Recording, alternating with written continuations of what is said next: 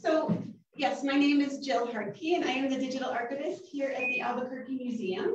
I run the photo archives department, which is shares a wall with the auditorium. And so um, at the end of this program, if you are interested in seeing what the photo archives looks like, we do have a public research room that you're totally welcome to come into during our, our uh, open hours. Um, I'm here Monday through Friday, so that's when the photo archives is open, um, usually 9 o'clock to about 4 p.m. Um, and then there is a collection storage vault attached to that research room where most of the photo archive collection is held. There's a little bit that's held downstairs in the vault with, uh, the, with other parts of the collection. But if you're interested in just seeing it, if you're curious, um, I'm, I'm happy to share that with you uh,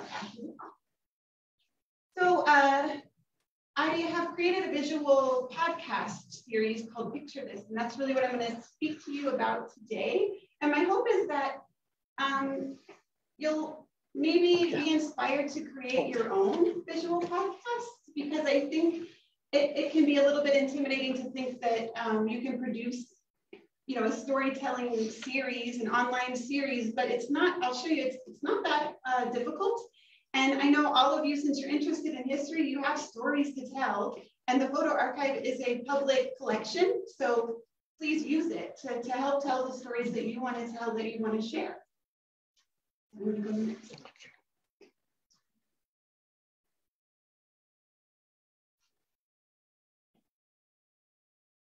Okay, so uh, just to give a quick overview, and I'm going to kind of go through this pretty quickly since I hope to share, uh, to show the collection to you later. But the Albuquerque Museum Photo Archives is actually probably over 150,000 items um, in the collection right now, mostly prints and negatives, also panoramas. Um, also, we have uh, radio programs. We have silent film footage. We have uh, footage that does have sound. Um, we have scrapbooks, photo albums, this is uh, what the prints and the negatives, this is how we store them. They're just stored in filing cabinets, um, but sleeved properly. Um, these are archival, archival safe storage uh, sleeves. Um, next. This gives a little bit of an example of how the storage room looks. Um, these are our film canisters that are, that are stored on, a, on an open shelf. We do have flat files. That's where many of our um, framed photos but also our tintypes, our daguerreotypes, and our ambrotypes are stored flat in those files. And then we have color slides. Color slides are stored in freezers to try to slow the deterioration of that old color film. Okay. So uh, I'm the digital archivist, um, and that, that is a new term, a new title that was uh, attached to the job in 2018 when I accepted the position. And the reason why we added digitized is because the digital part of the collection is really how you um, help provide wide ranging access to the collection. And so for me, digital archivist, it, it really helps emphasize that access portion of my job.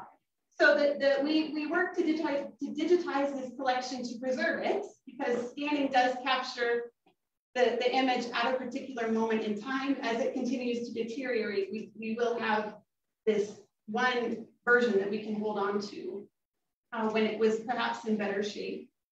Um, we also digitized to make the collection accessible, as I said. The collection is public. Uh, people are welcome into the photo archives to see this, to see what we have. You can use it in your projects and whatever, whatever you want. I think that having the collection be only in that room is not useful to anyone. Like it need, they need to have lives outside of this building, and you are the reason that that I'm here to sort of facilitate that. Um, and the collection, it, as I said, it's, it's most useful when it's out in the world. So that's what I'm trying to do. That's what I view as sort of the mission of my job here uh, to, to protect, but also to provide access. So we do have an online uh, version of the Albuquerque Museum collection, and it's it's called eMuseum. And um, it's I'm sorry that it went the link went behind there, but it's it's albuquerque.emuseum.com, and I can can share that with you later if you want to hear it again. But we've got over 10,000 items from the photo archives that are online. We're trying to add to that. The, the art and the history department also, some of their collection has been digitized and it's put online. So you can go here. This is sort of the landing page that you wind up on. Um, you can use this up here to search. I will warn you, this is not Google. so this does not bring up, it's not intuitive. Um, the advanced search option here is probably a better way to actually try to pinpoint something. If you're looking for something really specific, I would suggest doing the advanced search option and then searching in like description field or something like that. That, that would be a better, a better way. But if you just want to browse, there's so much stuff to see on that, on that online site. And you can download the images, very low res JPEGs, but if you want to use those, feel free. We have all the information on the record. So you have the credit line, you have the date, you have if we know who the artist, the photographer is, it's all, it's all in those records. Oh, and here, here's an example. Uh, so this is uh, an example of two items from the photo archives that are online. And so you see the information that's available on the record. Um, you have to click on, when you, when you open the, the website, this little mark here is actually, um, it's hidden. So you have to click on the on the little uh, icon next to the description page or the description word, and then it'll drop the description down so that you can actually read what you're what you're looking at. This is what a lot of the photos, um, the photo archive collection looks like. But down there, I wanted to show that to you because some of our radio programs are available online. And so because there's no image, it looks a little bit awkward. But on the bottom, you'll see the little speaker icon. When you click on that, it'll load the program and you can actually listen to the radio programs. They're really cool. They're from the 1970s. There's amazing topics that are in there. So just a, it's kind of a, a fun, a fun collection that I've, I've enjoyed working with. So I want to share it um, as much as I can. Okay, and then kind of getting closer to the visual podcast series part. This we have a YouTube channel. The Photo Archives has its own kind of channel. The museum has a channel, and Casa San Isidro, which is sort of our, our other property in Corrales, they have a channel as well. So we're all trying to create programming to share online, especially during the pandemic, but we are trying to continue this so the Photo Archives YouTube channel is pretty much at this point dedicated to picture this. Um, it was at the start, it does have some of the radio programs on there before we got an upgrade to the e-museum so that we, we could load them in through that platform. Um, but I'm not adding radio programs to this YouTube channel anymore. Um, so this is really just dedicated for picture this. So now we'll talk a little bit about the, the picture this. Um, oh, did that one? Okay. Um, so I guess I should give a little warning here. Um, there are some sounds that are going to be coming through because I do use sound effects. I have put some sound clips into this um, presentation, and there's a beginning tone and an end tone that I use at the beginning and the end of every series. And when we were testing this earlier, they're probably going to all play at the same time, but if you just hang with us, I'll, I'll explain, um, and then hopefully we'll play it at, at, the appropriate moment and you'll be able to hear it all uh, as, as hopefully um, intended. So, uh, but these are um, examples of some of the photographs that are used within the Picture This uh, series. There are right now 26 episodes of the series on the YouTube channel. Um, so what you've got here at the top up here, this is uh, the Dawson mine uh, story.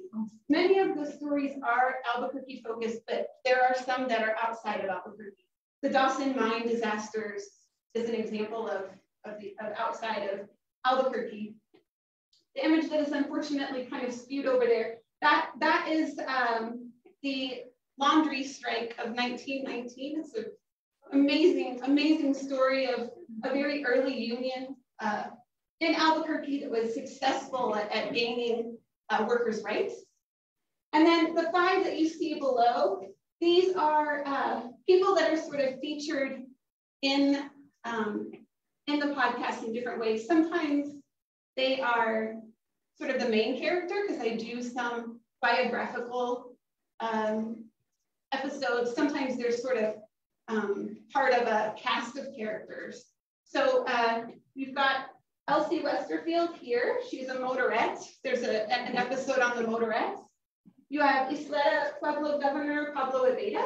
Um, the King of Belgium came to Isleta, and so he features very prominently in that episode. In the middle there, you have Alabama Milner. Alabama Milner is a photographer. Um, in the collection, we have a, a, probably over 600 of her photographs. So there's one entirely uh, based on her. Fourth over, you have Owen Smaulding. Owen Smaulding was an incredible athlete who came out of Albuquerque High School. He had just an amazing career in baseball all around the country. Um, and then at the very end there, you have someone who I didn't know that we knew who, who he was, but that, that is Suhu Ampong. And he uh, is featured in the, um, actually in the same, the same uh, laundry strike episode as, as the, as this view photograph.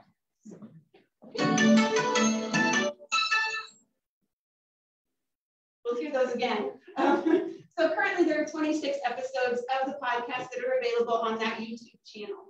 And it covers everything from um, balloons. So Park Van Tassel, he was the first um, episode that went that, that I that I created to try to use as sort of a it was just sort of a, a, a, trial run to see if my my bosses would let me continue. And so that that's episode one. Um, music, BB uh, King and Placitas. Um, activism, as I said, there's um, the union uh, story, transportation, the motorettes, um, we've got World War One. We've got we've got health. Um, there's uh, industry, sports, food. Um, if you're curious about how we got a steak cookie, there's an episode on that. Um, and bi biographies as well. I've gotten kind of more into doing um, stories of one particular person because those are really, it's not something that I feel like I'm probably going to be able to do in-house. So one reason that these that these episodes even got started is because I, I do have a huge collection. There's 150,000, which is much, much bigger than either the art or the history collection combined here. But I need to have 25 to about 40 photographs in order to be able to create an exhibit in-house that will go up on the walls out here. Most of those 150,000 items fall into collections of 10 photos or less. And so the only way that I can really share those, I thought, in a meaningful way and get those stories out there was to create this, this series, which allows me to sometimes use only one or two photographs, but make sure that I have a way of sharing that story. And because they live on YouTube, they're, they're evergreen, essentially, so they last longer than than my exhibits do in the hallway as well. So, so there's a there's um, a few reasons why why I went this route. Um, I did try I did try to stick to seven to eight minutes in length. I initially thought Colores is a good time period. I thought theirs is about seven to eight minutes, the way PBS has their Colores segments. And I thought, oh, okay. Um, unfortunately, I'm heading more toward the 10, 12 minute mark. So I'm trying to bring it back down. Um, but but I my target is usually to not, not go really, really long on these. Um, oh, so, but I do try to sort of, I guess, brand the, the episodes a little bit.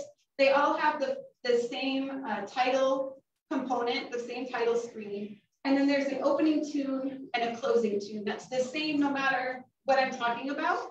So let's see if we can play the opening tune. So that's that's the opening tune, and then I usually um, do a little intro, and and then uh, at the very end, then we play the closing tune.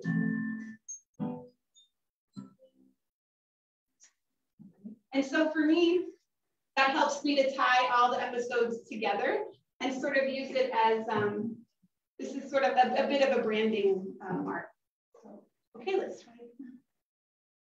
Um, so to talk now about kind of how I do this, uh, and then we'll sort of move move forward to how I hope that maybe maybe you could do this too. Um, when I'm choosing what stories to tell, I honestly just look through the collection. I find something that's pure that I'm curious about, and I dig deeply, and then I decide, like, hey, I'm going to talk about it then, because my feeling is, if I'm interested in it, someone else might be interested too. that's kind of that's kind of the impetus for a lot of these. Um, so I do go looking for the photographs first, and I come up with the narrative. After. I want my curiosity to be piqued before. I don't want to be bored trying to write the story. Um, so this one is the, the newest episode. It's called Tinseltown at the Depot. This is a collection of um, photographs that were taken of celebrities in the 1920s at the train depot at Alvarado Hotel. This was taken by a man named William Steele Dean. Um, and so we have the photographs and many of them were um, identified. So you've got Mary Pickford here. You've got our gang, Little Rascal.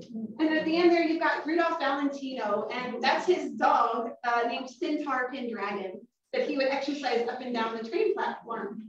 And so William Steele Dean, um, I didn't really know much about him. And so although I could tell the story of, of the train coming and stopping in Albuquerque uh, between Los Angeles and Chicago and kind of, you know, how long they would be here, how long, how many people would get off the train and kind of exercise uh, or walk up and down, meet people. Um, I needed to find out about William Steele Dean in order to actually tell this story. So um, what I do is I just start digging. Like I'm a librarian, I'm an archivist. This is basically what I what I love to do and what I what I was taught how to do. So um, newspaper archive, many of these things, these are all free. The, the, the resources that I'm going to tell you for the most part are all free. Um, but the newspaper archive database here where you can search newspaper articles, that one, and then Heritage Quest, which is where I go and look at the census records, war records. Um, those are free with your public library card. So um, they have a really amazing selection of database and, and resources that you can you can access through your library card with Albuquerque Public Library. So I, I really take a lot of advantage of that. So uh, in trying to figure out who William Steele Dean was, I searched the census records. I lucked out on the 1950 census, which was just made public this year. Um, and because William Steele Dean landed on one of the lines where they asked him extra questions. So we got extra information. Um, so I did learn that he did not complete uh, schooling past the seventh grade, which confirmed something that I had read in this article, which was that he was, he came to Albuquerque because he had tuberculosis um, as a child, and he was so sick that, that he really didn't, um, couldn't really attend school. He had difficulty holding down jobs later in life just, just because his health didn't really allow it. However, he did, um, he was hired. He loved music. He met if you, if you think about what um, Albuquerque was like in the 1910s um, and, and, maybe early 1920s with all of the tuberculosis patients that were coming here, it was a very interesting community. And it was full of people from all different backgrounds that were coming. And he was meeting these people, and he seemed to um, gravitate toward musicians. He liked music, and he was good at it. And he wound up uh, befriending musicians who would go on to found the Hollywood Bowl Orchestra and, and, and write music for some of the silent films. And what he ended up doing, he, he stayed in Albuquerque his whole life, as far as I can tell. And um, he became the organ player at KiMo Theater right when it first opened. He was playing the music for the silent films. And then what he would do is he would see the films and he got very into film and very into Hollywood and he had a little autograph book. And he, he, he could walk down to Alvarado Hotel and he would wait there on the platform. He would meet the train and he would get the autographs of these stars and these celebrities. And so within that collection, there's Mary Pickford's autograph in his, in his um, autograph book. But he saw like Albert Einstein. He saw William uh, Randolph Hearst. Um, and then a lot of the silent film stars, some of whom you know, some of whom I, I, I was really struggling to even find who they, what, like what they were in. Their, their names are really not, at least I, I couldn't really find much about them. But then there are, there are, there are the Mary Pickfords, there are the Rudolph Valentinos as well. So, um, so this is something that I would just sort of uh, encourage is, is even if you find a photo and you really like what you, what, what you see, when you dig into it, don't be afraid to just use all the resources that are out there to, to really pull that narrative together.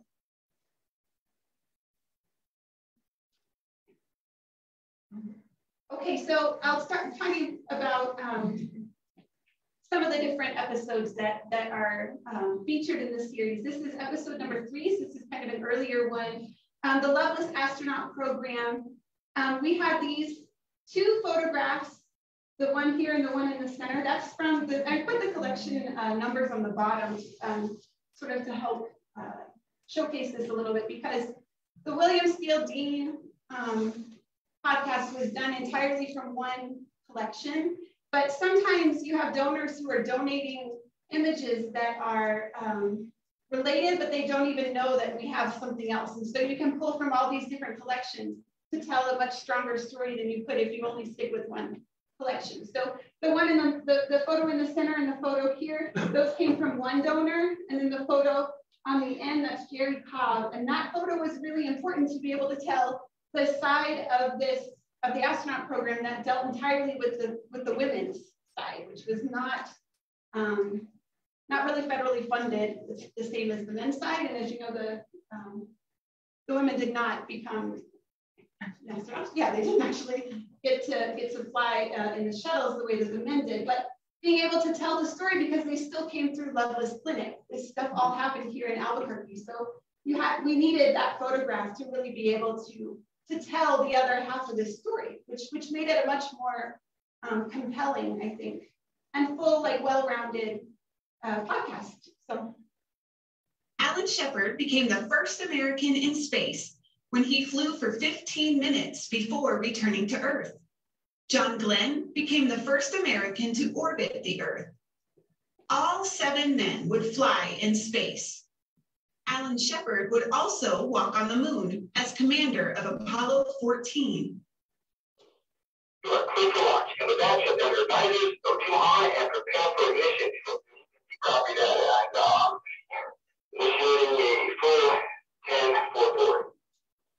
None of these men could have reached these heights without making it through Dr. Lovelace's tests in Albuquerque You'll hear that again in just a minute when we move forward. But uh, but this um, that was an example of the um, the ways that you can use sound effects to also help create atmosphere in your stories. There's a lot of websites that are out there that offer um, sound effects, um, and that, that that that's not a what you heard is is not a NASA reporting or anything of any not, not official anything, but there's a lot of creative people out there that make a lot of sounds and they put them online and you can you can uh, get a lot of them for free to use in your storytelling in, in these kinds of um, these kinds of uh, projects. So I wonder can, I wonder if we if we're going to hear the whole thing again or if we can go forward. In, in, Alan Shepard. Oh, great. Okay. Um, so this this episode is on the uh, Albuquerque Dukes baseball team. This, um, this is an example of pulling from a lot of different collections that are in the photo archives. For one reason is how, how many decades this story covers. Um, in order to, to really try to pull images from, from the entire life of the team, you really have to search pretty deeply into the archive and start, start pulling images out. But the other thing um, this was one of the first episodes where I started um, working with colleagues around the country to be able to tell this story wider. Um, and uh, so I wrote off to the Los Angeles Dodgers, to their archivist, and I because I knew that the, the, Albuquerque Dukes played played the Dodgers, and um, they won. and and I wanted to know, you know, what was that like? Did they have photos of it? Did they have a scorecard? Who played? What was, you know, what was that going on? And, and what was very interesting was the archive uh, in Los Angeles, they, the team's archive does have a record of that game. They did, they do have um, photos of that game, um, but the, the archivist himself was at the game. And so the archivist was able to tell me his personal story and how cool it was for him to get to be there and to see to see this team play. It was it was in 1981. Um, there was a strike that year, I believe, and so it had been um, it had been a while since since the teams had gotten to play in front of their fans. And also, um, LA, you know, they knew who these guys were because these these were the ones who were coming up and were going to play for their team. So so this is this is the minor league team for for the professional team. So it was exciting. The fans were very excited. They were happy to see it and having his perspective of actually being at that game um, also helped me to be able to tell the story um, more like more accurately than I would have if I hadn't had that first person um, that first person experience. And that really just comes from reaching out and asking people, hey, do you have anything? Is there anything that you would let me use? Is there, you know, how do I tell this story, you know, better? Um, uh, Jill, quick question. Like here where it says 1996, is that the year that the city got that image? Exactly. So yeah, so what you're looking at is um, these catalog numbers. Okay. Uh, PA, it stands for photo archives, right? And then, and then yeah, the, the, the year is the year of donation. The middle year, I'll just tell you this. uh, the middle year here, or the middle number is um, the number of collections that we've had that year. So, so that would be, um, 20, yeah, we got, is the 29th collection that the museum got in 1996. And this is the 517th item within the 29th collection that we got in 1996 for the photo archives. So that's how you, that's how you read the catalog numbers. The game was televised nationally, and the announcer was Don Drysdale, the Dukes spent the pregame signing autographs for the legions of Los Angeles fans who were excited to see their veterans against the new up and comers from Albuquerque. It was the largest stage the Dukes had been on.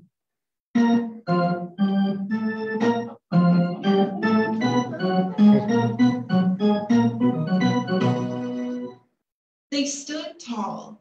The Albuquerque Dukes beat the Los Angeles Dodgers one to nothing. The Dodgers would recover from their loss and go on to win the World Series that season. So this is um, the, the scorecard that we got from the from the Los Angeles Dodgers, um, from the archivist that was there, and also these two photographs came from that from that archive. And I do, I'll just say, I do um, always credit the, the institutions that share with me. Okay. The game was televised nationally so we've heard a couple of sound effects here. I do try to use those um, just to try to create atmosphere. So it's not just me always talking.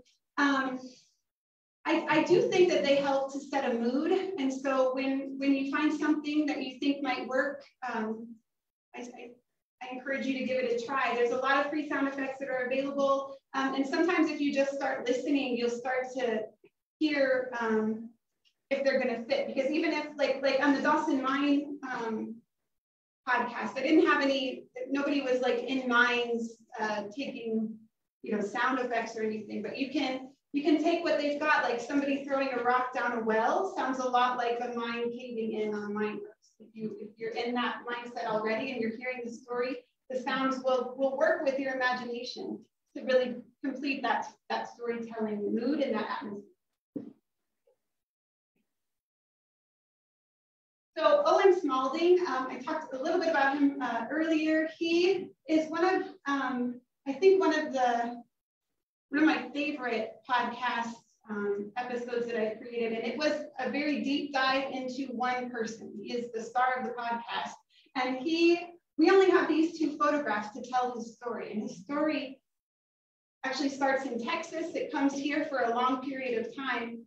And then it moves all around the country. It goes to, to uh, Washington State, Idaho, Chicago, all the way down into, into um, the deep south, back to Chicago. He's all over the place. But um, his, his impact on Albuquerque is that he, he is probably still considered, I think probably the best all-around athlete to ever come out of Albuquerque High School. And when you when you look at what he what he accomplished at a very young age um, in high school, he just he ran away with with records, one right after the other. And it was um, during World War One that he was in high school here. He did get drafted.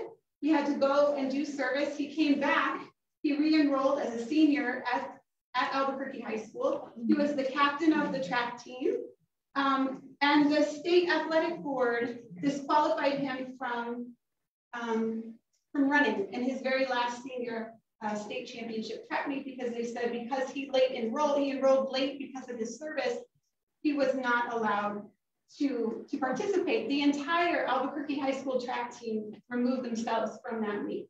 So really, it's a really important, I think, moment um, for, for us to, to know that that happened um, and that, that people rallied around him. And he went on to have an incredible career. He went to college. Um, he played baseball uh, and football um, for University of Washington, and then he ended up at University of Idaho and he got a business degree. After that, he went and he played for the Negro Leagues. He played alongside Satchel Paige, and he um, he just has this this amazing story. And I don't want to like tell you the whole thing, but but basically, yeah. But but what's cool is that um, the, the he has a there's a gymnasium called Smaulding, the Smaulding Gymnasium down um, in, uh, in the South Broadway area, which is where he grew up. And um, one of my colleagues, I made, I did this episode, one of my colleagues saw it. She um, had, had been working here. She went and she was, she now teaches at Albuquerque High School. Her husband is the athletic director. He saw it. They started talking and now, um, now there's a, a scholarship named for Owen Smaulding at Albuquerque High School. And so it's, it's, I say that not only because I'm really proud of it, but also because um, when you create these, you don't know the impact that your storytelling might have out in the community. So it's important, I think, to share widely and whatever knowledge and whatever stories that you have to tell. They, I mean, they have a life of their own outside of outside of you and outside of what you create. And so, um, anyway, that's that's Owen. So. Thanks.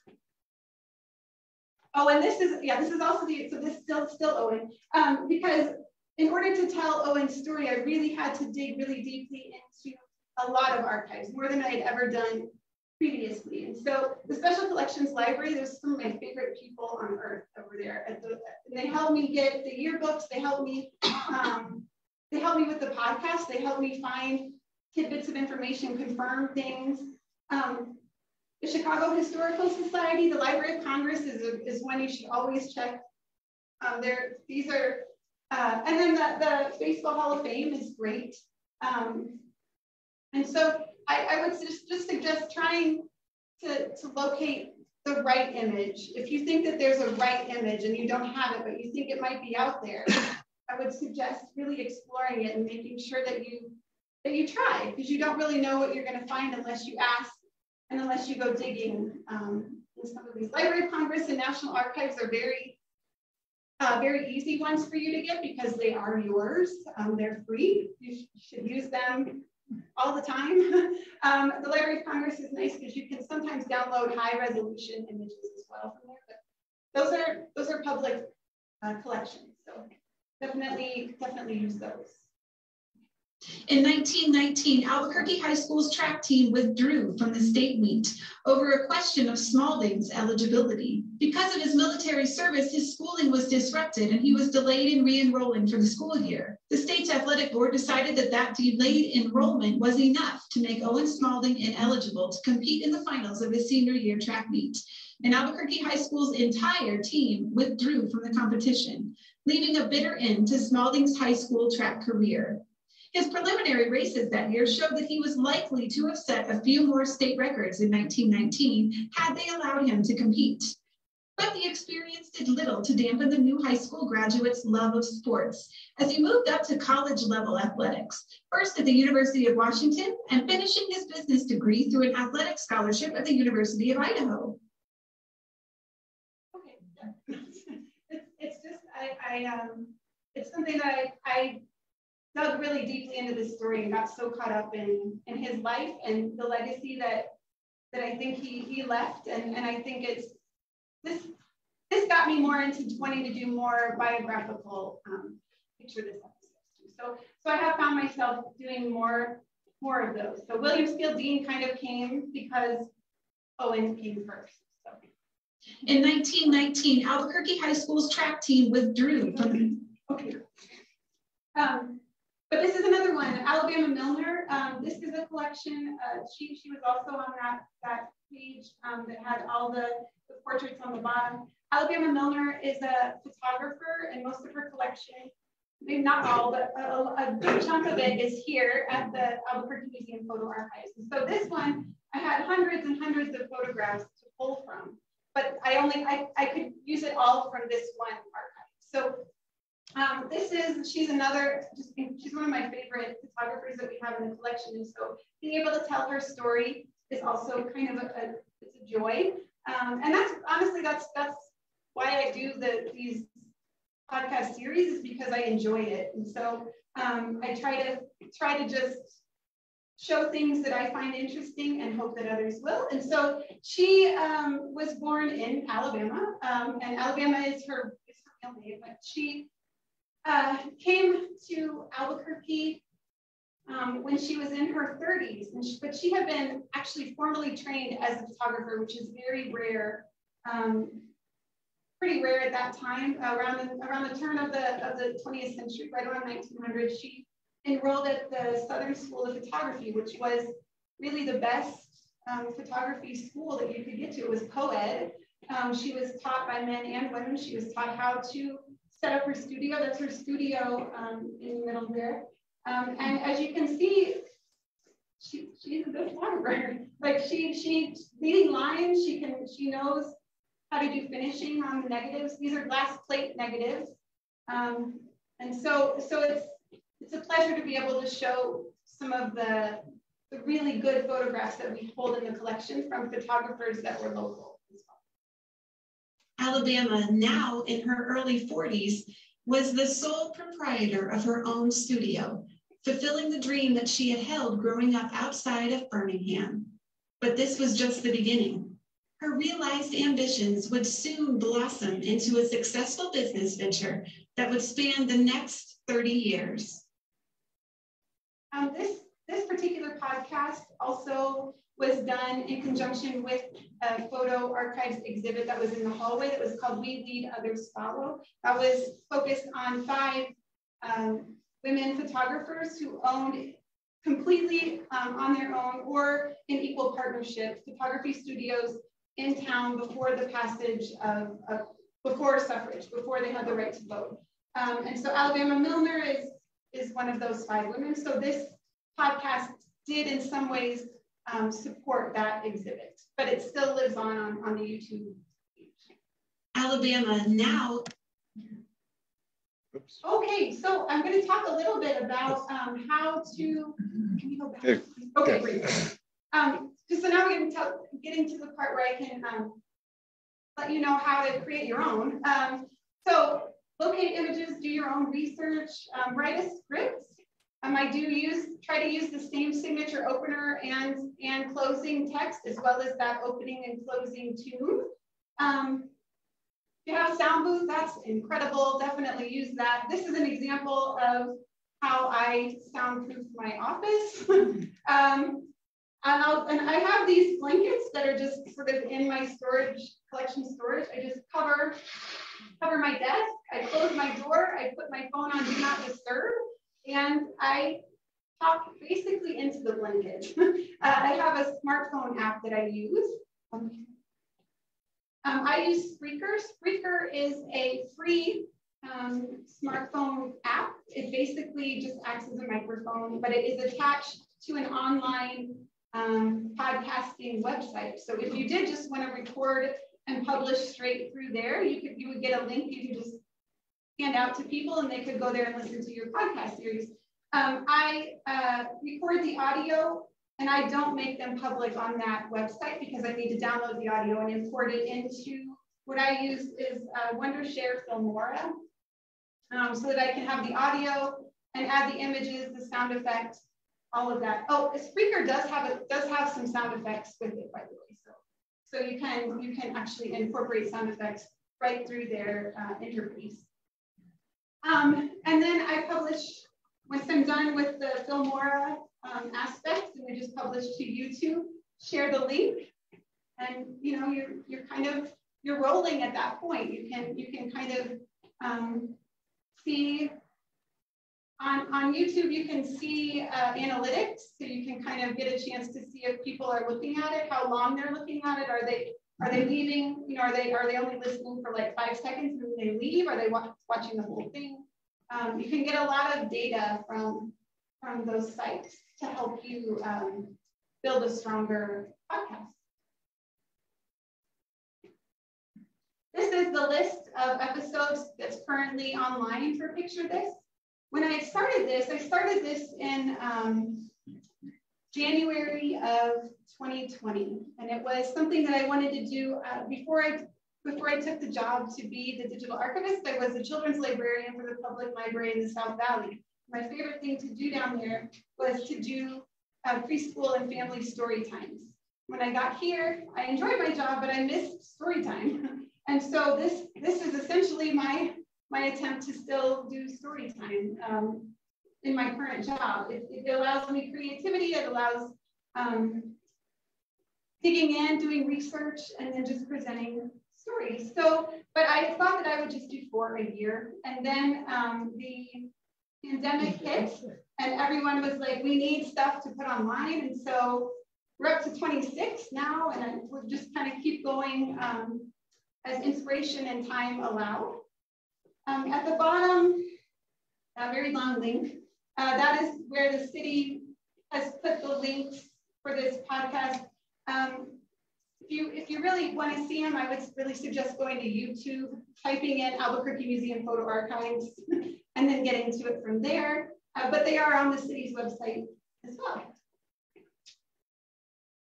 Uh, so thank you for listening. And, and again, um, I'll put this back up. If you have questions, um, I'm happy to answer, and I'm also uh, ready to um, show show you the photo archives if you're if you're curious, if you want to um, see any of that.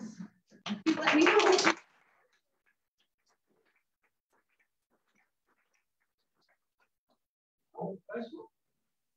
Are you ever able to uh, edit something later when you discover some new piece of information that is very relevant? I can, and I, I, think I've done that once. Only one time have I gone back where I thought, oh, that's that's so important. And it was actually that I found a photograph that uh, I had talked about.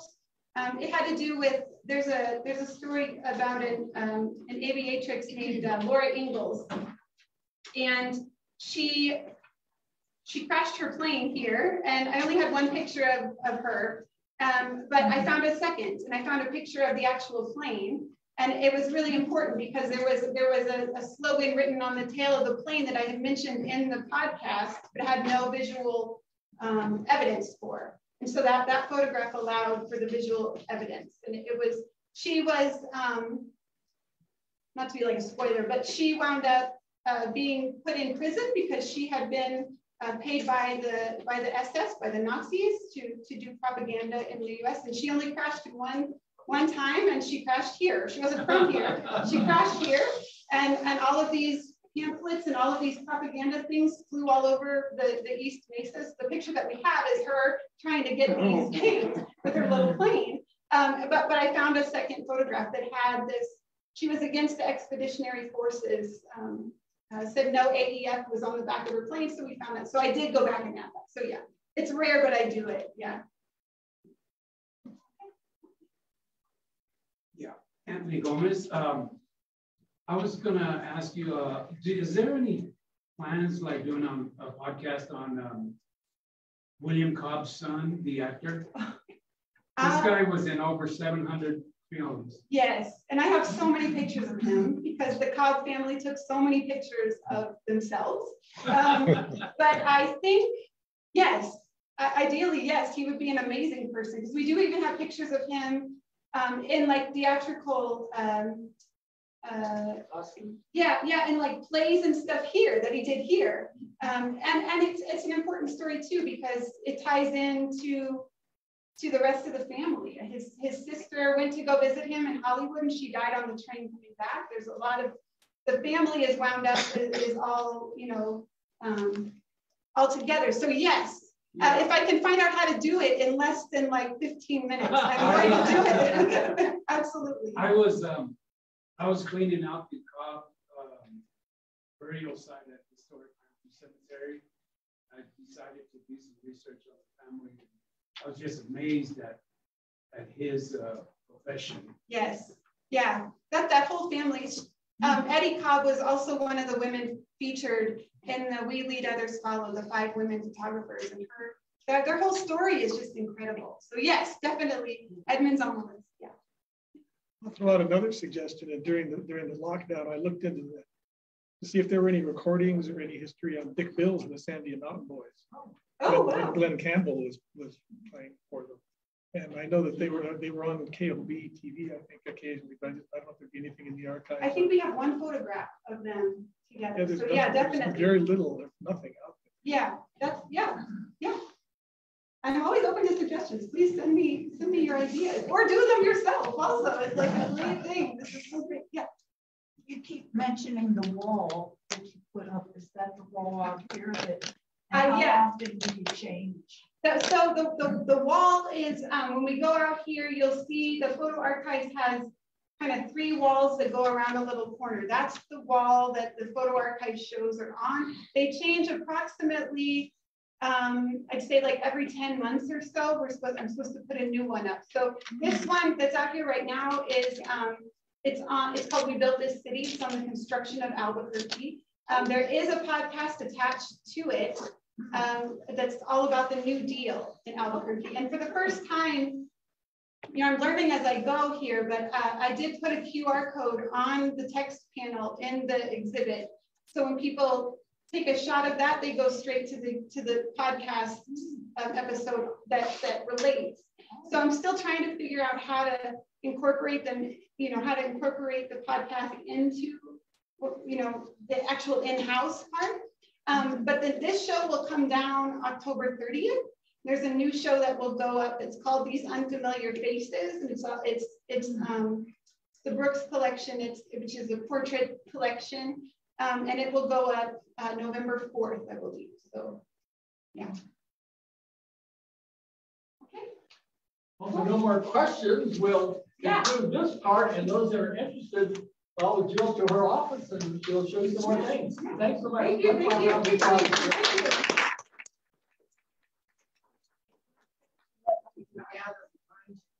Absolutely. Yeah, we should kind of meet right out there and